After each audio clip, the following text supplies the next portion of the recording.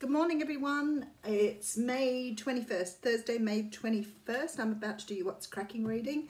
Um, firstly, I want to say thank you to all of your beautiful support. I've so enjoyed reading your stories lately and, of course, talking to a lot of you. So, I've been in quite a lot of personal readings. So, I want to say thank you so much for all of your support. It's the work I love to do, um, and you all know that. Um, it's a real passion for me. So, um, underneath the videos are the instructions for the classes going into July.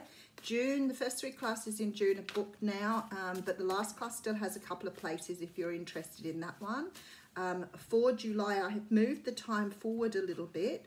Um, this may not still suit you. So if you are interested in doing classes and the, and the time doesn't suit you, will you email me and let me know what sort of timing you want to do the next classes at? Because if I can do classes during the week, I might be able to do them early in my morning, which would be in your afternoon or the night before. So please let me know uh, what time would suit you more. Um, and I'm hoping to run those on a day other than Saturday as well. At the moment, because I work Monday till Friday, I've put the classes on a Saturday, but hopefully going forward, I'll be able to schedule those during the week. Okay, so uh, is that everything?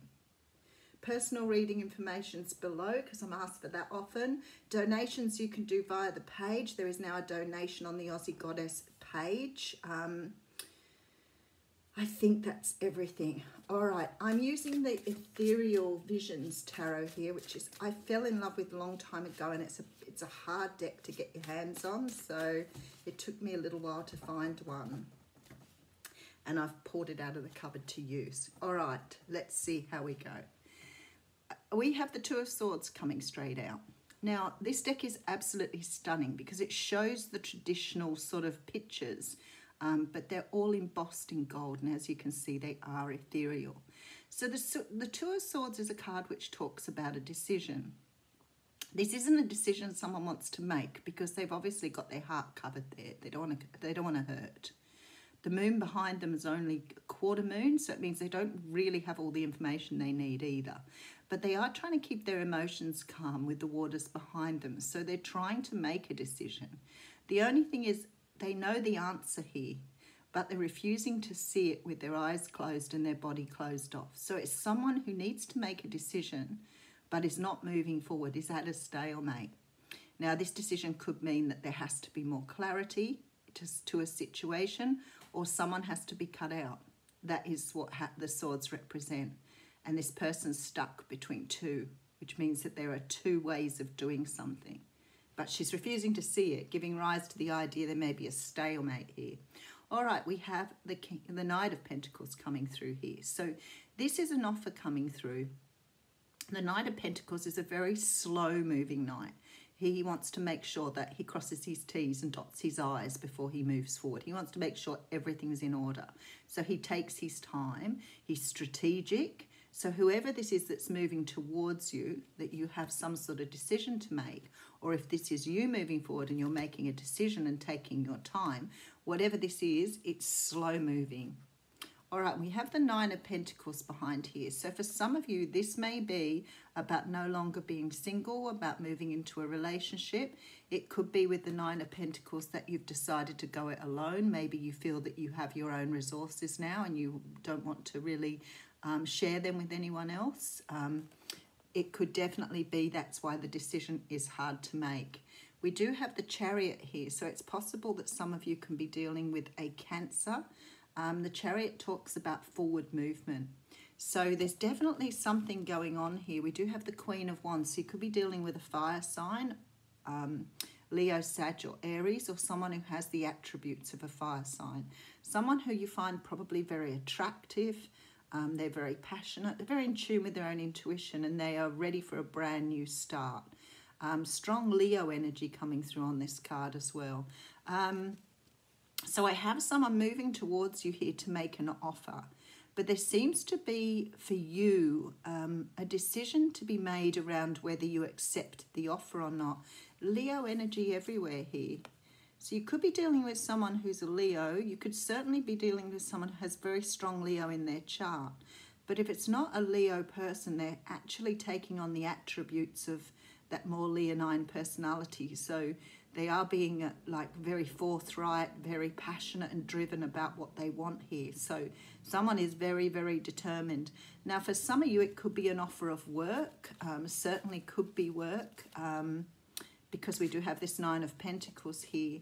So it could be that you're being offered work or a business or a contract for a business um, with this Knight of Pentacles. Um, but the main thing here to consider is, you know, whether or not you want to take this opportunity or whether you are going to move forward and do your own thing. Because there's a very strong feeling here that you are holding the decision back for some reason. So I'm not quite sure why you're holding back, but we can have a look. Oh, well, there you go. That answers everything, doesn't it? How can a tower look more beautiful than that? I mean, seriously. okay, the tower is here. This is what I'd say your Two of Swords is about.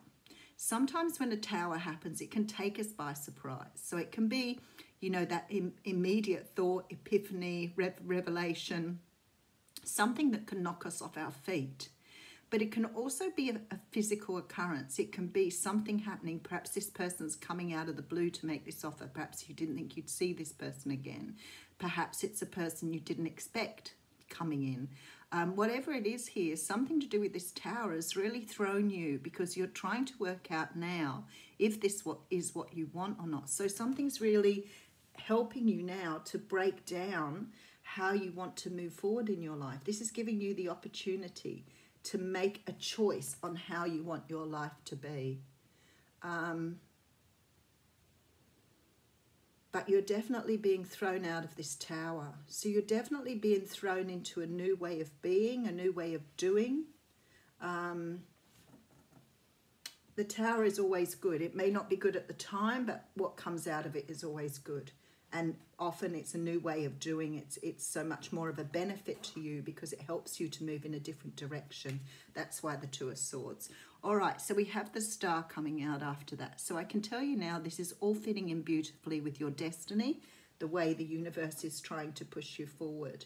Um, the star card talks about it talks about healing and it talks about um, destiny and I feel like here for some of you, perhaps you've done quite a lot of healing and perhaps somebody's now coming in. You've got yourself to the point where you're ready for someone new with the Nine of Pentacles. So maybe you're ready for someone new, but you're not really sure whether to move forward on this or not. All right, so have the Page of Swords. Well, that makes me think that someone's been keeping a little bit of an eye on you for a while. Um, the Page of Swords talks about a truth that needs to be spoken or communication that needs to be made. Um, this page has their sword up high, so they're ready to communicate, but they're not looking in your direction yet. So it may mean they've been sort of watching you, keeping an eye on you, but they're not ready to follow through. Now, the Page of Swords is a card of, um, you know, something, just sort of some sort of um, message gift, something very small, just to see whether you're actually even interested here. So it could be that somebody's just calling you up to, you know, ask you out for a coffee, perhaps have a bit of a catch up with you, but I feel this person has greater motives here. I feel that this person understands their destiny with you here, but they're not going to say it straight off. They're going to give you a very tentative, let's catch up. All right, so we have the Two of Pentacles coming in here. So the Two of Pentacles talks about finding balance. Now this card here, you can see the waves behind her. Now, the waves in the water always represent our emotions. And in this card, they're quite sort of wavy. So whatever this situation is, you're finding it hard to get your balance here. You're finding it hard to really understand how you're feeling, what you want to do. All of those things are going through your head now, I think, because of this tower. Now, it could also be, um, you know, the, the, whole whole idea of um, embarking on something with someone new, someone who perhaps, as I said, you either don't know or you are really unsure of. Maybe they're they're completely different to you. Maybe you just didn't expect you didn't expect something from someone perhaps who maybe someone you know Um, could be someone from your group, could be someone from a friendship group, it could be somebody who um, has some sort of knowledge of you here because they've been watching you. But I don't think you thought this person would ever come forward. Okay, let's keep going. Ten of Swords here. So we're closing out some sort of cycle here. So for some of you, it could be someone, oh, we have the Devil card. Oh my goodness, again, how can a card, look at it, how beautiful that is. Um, it is the sign of Capricorn. Capricorn was always presented as a goat, so it seems inevitable that the devil would come that way because the devil was always represented as a goat too. So um, now the devil card here can talk about obsession it can talk about um, codependency, ego. I have a strong feeling this person has very, very strong, either a strong obsession with you, yeah, especially with the Empress card coming up. Okay, they may be really feeling very lusty, very physically drawn to you here.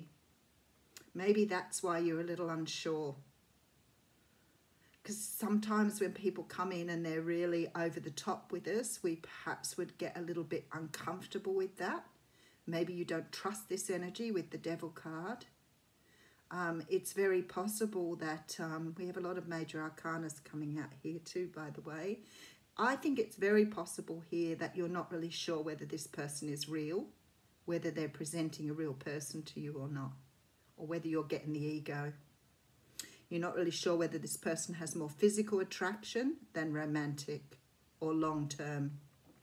Okay, let's find out. Okay, so we have the Four of Wands here. Does that answer your question? This person is totally in love with you. They want something long term. Totally long term. Seven of Wands. I think that they have felt this way for a very, very long time. You just didn't know about it. Five of Swords coming through here. So we have someone here. I'll read this again and we'll go back and read the cards. I have you trying to make a decision here. I feel that someone's come in that maybe has not, you haven't seen them for a while, maybe you you have never had a relationship with this person, um, and I feel that you've sort of got your life in order here. It's like you've got your ducks in a row.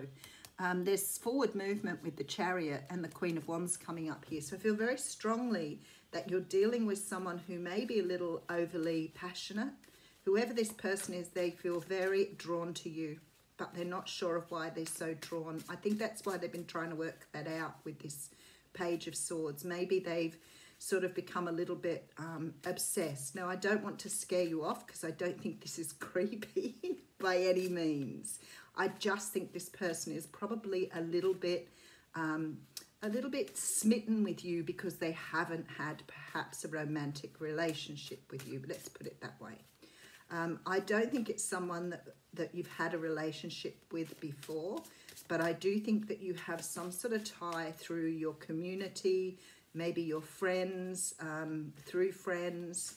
But I feel like you know who this person is. But there's a feeling here that you're a little unsure of whether to accept this offer or not. Um, because perhaps this person's not going to give up. So let me say that. So if you were to say no, they'd probably not stop at no. They want to, they want to do the right thing by you. But I feel like somehow or another this person's presenting in a way that makes you wonder if they're not sort of just physically out for, and somebody might like that. Let's face it. I've had that said to me before. Well, you know what? That's entirely up to you how you go about this. But I feel because this person is coming forward and you're not really 100% sure, you're a bit on the fence whether to accept anything from them. Okay, I have the Queen of Swords coming out here. And I also have the Five of Wands. So I feel like there is this sort of feeling here where you're being very, very assertive with this person because you're unsure of whether their offer is real or not or whether they are um, just sort of around for um, maybe physical purposes rather than having a relationship with you. I want to say to you, their intention is very clear with the Four of Wands here, very clear, and the Star. This is a relationship that is destined to be.